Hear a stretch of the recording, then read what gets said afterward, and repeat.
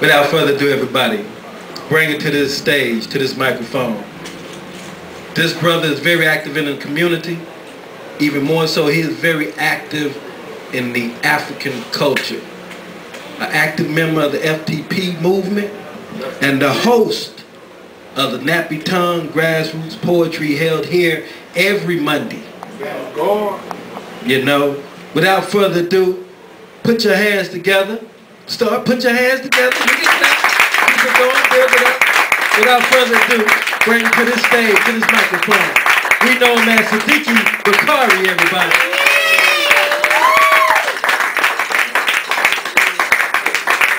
What's up, Paul's Jazz House? Y'all give it up for yourselves. Yeah. We're gonna talk about hip hop tonight. How y'all feel about hip hop? Yeah? Yeah, we're gonna get down and dirty with it though. Hip hop did not start in the Bronx. You hear me? Hip hop did not start in the Bronx. Hip hop is something that's very ancient. The term might be new. Come on. The term might have began in the Bronx, but we know that hip hop go way back. We can't talk about hip hop and not talk about the black arts movement, right? Black nationalism, black power movement. How do you have hip hop if you don't have the Watts Prophets, the last poets, Amiri Baraka, right? Right? Sonia Sanchez, right? right? How do you have hip hop if you don't have the Harlem Renaissance, right? Right. Black arts movement recognized that they had the Harlem Renaissance to stand on their shoulders. Right? Right. So when we talk about hip hop, let's recognize that this is something that's old. This is something that's been a way of life for us as Africans. We take this thing all the way back to the Nile Valley. See, when we talk about hip hop, we got to talk about the first person to even utter a thought, the first people to utter words, the first people to put anything together that was critical and analytical. In order to do that, we got to go back. We got to go back to ancient times. If you want to talk about, we call this uh, graffiti today, right? Where they spray, spray paint on walls or whatnot, but it can be erased. I'm talking about Medu Neter. Hieroglyphics as the Europeans call them, right? We can go back there where you see it carved in stone, two, three, four feet deep in stone, and it still exists thousands and thousands and thousands of years later. That is hip-hop. That's hip-hop on a spiritual level, on a metaphysical level. When we talk about hip-hop, we got to talk about the drum. What's the drum? The drum is a manifestation of your heartbeat. That drum is in rhythm and in sequence with your heartbeat. So now we're talking about chakras. We're talking about kundalini energy. We're talking about third eye. We're talking about what's beyond the physical. But what happens? What happens is when a foreign entity comes and enslaves your spirit, enslaves your heartbeat, enslaves your soul, your chakra, your kundalini energy, when that possessing of spirit comes in, what you have is something that's on a physical level. So now what do we have? We have BET, right?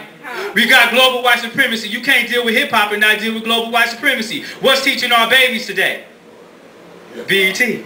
Yeah. Hip hop, right? That's what's teaching our babies. It's not teaching them anything spiritual. It's not teaching them anything on a whole nother level outside of the physical. So this is what I'm talking about when we talk about hip hop, global white supremacy, economics. Who's dealing with it? Who owns hip hop? Huh? Who owns it? Euro. It's not us, right? Right. Entertainment is self-explanatory. Hip hop is part of entertainment. I don't need to deal with that, right? Right. Let's deal with education. As I mentioned, what is it doing?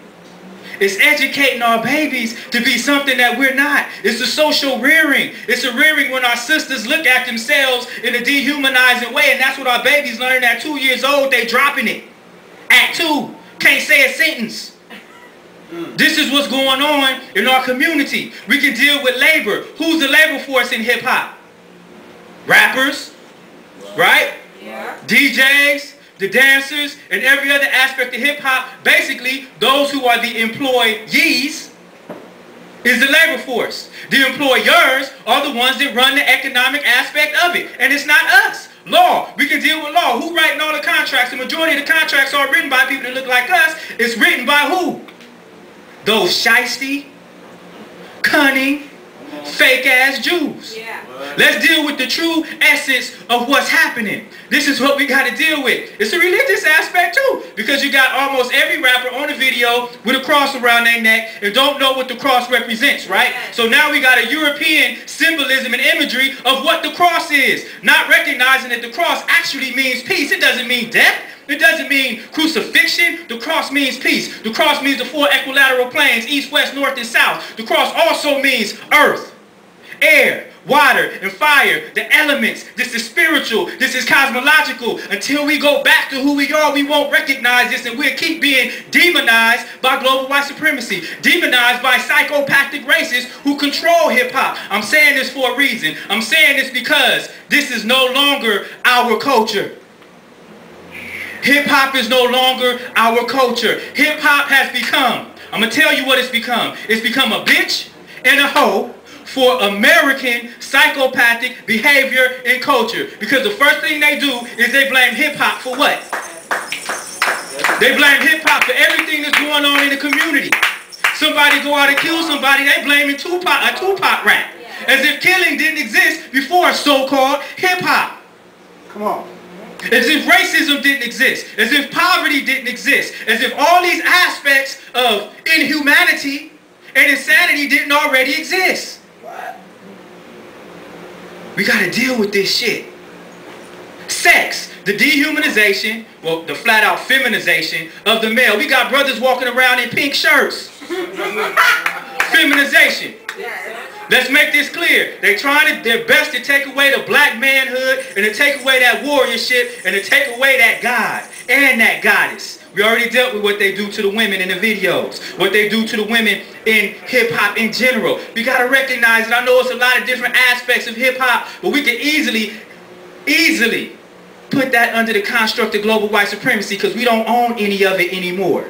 So we got to recognize that. We got to recognize what we have become because we've allowed foreign entities. We've allowed a social rearing. We've allowed this type of conformity. But we think hip-hop is ours. But we don't control anything. And this is not to disrespect anyone who is part of hip-hop. I, I know hip-hop from being on the street corner, on cardboards, before corporate America got involved with it. That shit is hip-hop. I know hip-hop when it was just about being on the street corner and rhyming. That's hip-hop. I know hip-hop in regards to fashion. That's hip-hop before corporate sponsorship got involved. I know what real hip-hop is. That's real hip-hop. Hip-hop that comes from your heart and your soul and your spirit. And you not tripping off of rhyming on 16 bars because you already know that everything is in sync with your heart energy. Everything is in sync with your chakras and your karma and so on and so forth. That shit is hip-hop and you can't put a price on hip-hop. Right. That's right. You can't put a price on it. Yeah. We got to get back to that. We got to get back to our true essence before everybody and their mama start telling us what hip hop is. Before the Asians start telling us what hip hop is. Before the white boys start telling us what hip hop is. Before everybody start writing their books, which they already are, about what hip hop is, when hip hop began, but they not include you. They're not talking to you about Kemet. They're not talking to you about Ta-Nehisi. They're not talking to you about nothing in the Nile Valley. As if it didn't exist. They're not talking to you about the dances. All the dances that most definitely is African dances that have to do with spiritual concepts, spiritual principles, cosmology, had to do with uh, agriculture, vegetation, things of that nature, paying homage to what allowed you to continue to live. That's hip-hop.